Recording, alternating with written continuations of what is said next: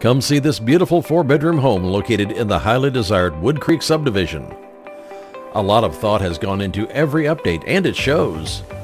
The exterior includes a beautiful extended covered patio, great for relaxation.